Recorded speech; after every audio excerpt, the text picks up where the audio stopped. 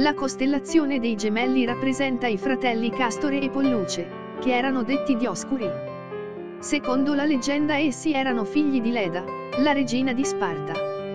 Ella un giorno ricevette la visita di Zeus, sotto le mentite spoglie di un cigno. I due giacquero insieme, ma quella stessa notte, Leda giacque anche con il marito, il re Tindaro. In seguito a questa notte di duplice passione, Leda diede alla luce quattro figli. Due di questi, Polluce ed Elena, erano figli di Zeus, dunque immortali.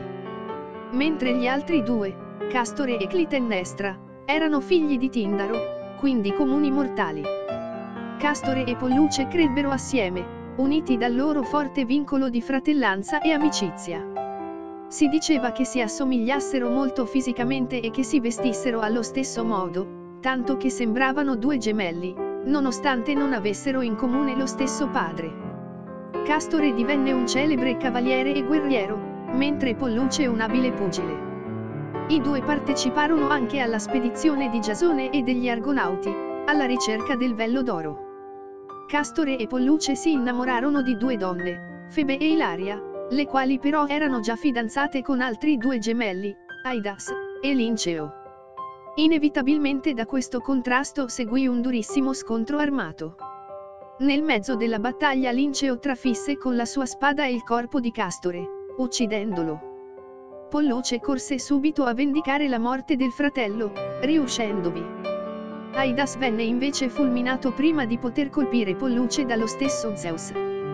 Polluce nonostante la vittoria era disperato per la perdita del fratello, così chiese al re degli dei, di poter donare la propria immortalità al gemello morto, oppure di raggiungerlo egli stesso nell'Ade. Zeus, commosso da tanto affetto, pose i due giovani gemelli abbracciati nel cielo, uniti per l'eternità.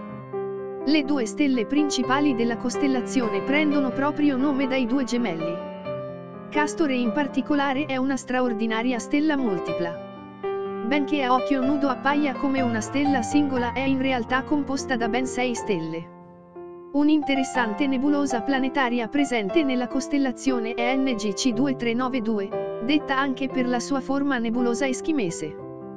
Degno di nota è anche l'ammasso stellare M35, composto da circa 120 stelle. Quando nel 1791 William Herschel scopriva il pianeta Urano, questo si trovava vicino ad una stella di questa costellazione, Propus.